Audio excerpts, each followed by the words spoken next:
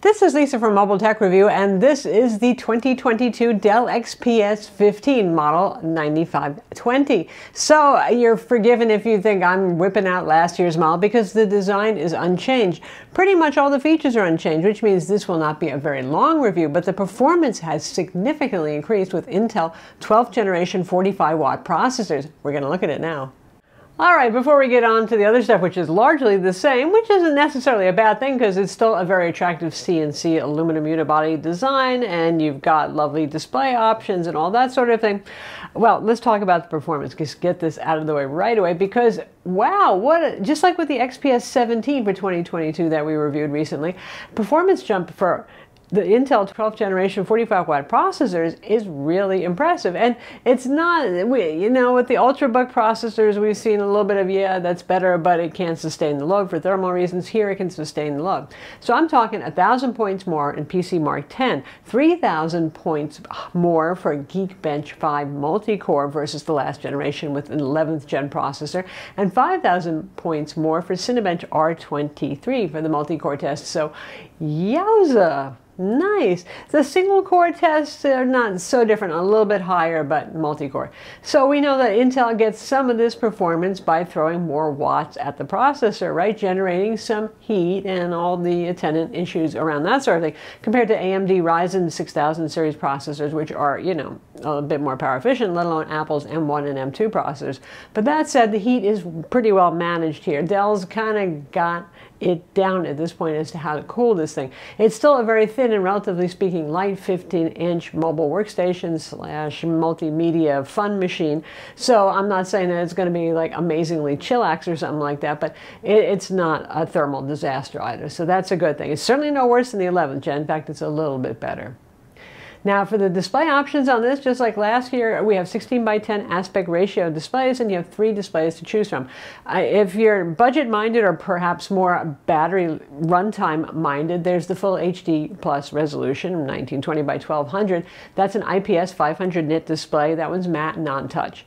We have the 3.5K resolution OLED display, which is lovely to look at and which is a touchscreen and which is glossy. That one's 400 nits because typically OLEDs don't get as bright in laptops and they do consume more more power. So the OLED as ever will be the one that you don't pick if you really need the longest possible battery life. And lastly, there is a full 4K plus resolution IPS display that gets brighter at 500 nits. So if you're a little bit needing more brightness or want to see a little bit better battery life, then that option is available to you as well. And that one is touch screen too.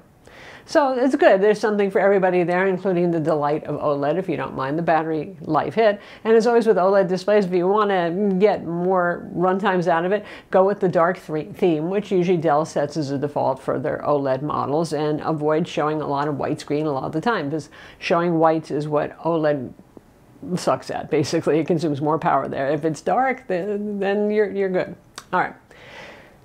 As ever, it's an upgradable system, so we have two RAM slots. You can go anywhere from 8 to 64 gigs of RAM. We have an M.2 SSD. You can order with fast SSDs, a variety of capacities, so that stuff is excellent. And still, just like the last generation, there's that kind of emasculated entry-level model, which, yeah, sure, it's way cheap, right? It's under 1500 bucks, but that's the only one that doesn't have any dedicated GPU, no NVIDIA RTX 3050 or 3050 Ti, which are your options for all the other models. The one's a Core i5, and that one even has a smaller 56 watt-hour battery, so instead of the 86 watt-hour battery on all the rest of them. So, yeah, watch out for that low-end model. That's what happens when you tell your IT person, I really want an XPS 15, but you don't specify the specs and you end up getting that one. All right. So RTX graphics, like I mentioned there, and you know, 3050 to 3050 Ti, you're looking at 40, 45 watt GPUs here, so not a lot of thermal headroom on these. It's not a gaming laptop, but it's certainly good enough to play older games or some online massive multiplayer ones that really don't need a lot of GPU power. You can use it for that. You can get it with a Core i7 or a Core i9 in addition to that Core i5. And you've got killer Wi-Fi 6 with Bluetooth 5.2, and that's actually an Intel AX211 card. So you've got a fingerprint scanner, Windows Hello, a white backlit keyboard, the usual stuff. The keyboard is the same as last generation, so is the trackpad, which is to say, short travel, but it feels crisp and responsive with good key return. And the trackpad is humongous. It sort of looks Apple derivative, but I mean, it's there for you, and it works just fine too. For ports, you have a USB-C port, a Thunderbolt 4 port, a full-size SD card slot, yay that, nod to creators, obviously, and a headphone jack, and that is it. So, dongle life is it with this. Obviously, you're going to need adapters or little mini Dell docks, that sort of thing, if you need to use so-called legacy peripherals uh, like USB-A, for example, or HDMI. Obviously, you can do DisplayPort out via the USB-C port as well, so that's easy enough. Just get a USB-C to DisplayPort cable or a USB-C to HDMI. So there are options there, but they involve little adapters. But that's that's how they're rolling with the XPS line because they're trying to make it as thin and light and small as possible and compete with the Mac. Even though ironically Apple's starting to add ports back, but that's okay.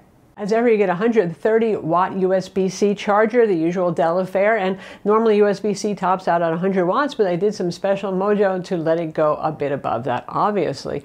So you've got your choice of two batteries, like I said, but only the entry level model has that really small capacity battery. For the 86 watt hour that we have, and probably most of you will end up getting, it's going to depend on which display you go with. Like I said, OLED the worst, the full HD plus resolution will be the best, and what you're doing with it. So it's getting to be a moving target when you quote battery life. But say you had the full HD plus and the big battery, and you had dedicated graphics, but you were doing productivity work, social media, and streaming and all that sort of thing, you should be able to get about seven hours out of it if you set your display brightness to 200 nits. Now, whack about two hours off of that if you have the 3.5K OLED like we do, and the 4K plus IPS display mm, should be sitting somewhere in between. So given the level of performance here, I mean, this is enough performance to be doing Blender, obviously to be doing the whole Adobe Creative Cloud Suite, Premiere, and all that sort of stuff, scientific computational software, that's not bad. That's pretty fair, especially for something, again, this thin and light. They could have put a bigger battery in it, but it would have been thicker and heavier. So that's the 2022 Dell XPS 15. As ever, same laptop, lovely design, great display options, nice keyboard, good trackpad, all those things. The only thing that's changed are the processors, and for the better. We see significantly more performance without any thermal or battery life deterioration. Who could ask for more? I'm Lisa from Mobile Tech Review. Be sure to subscribe to our YouTube channel for more cool tech videos and thumbs up if you like this vid.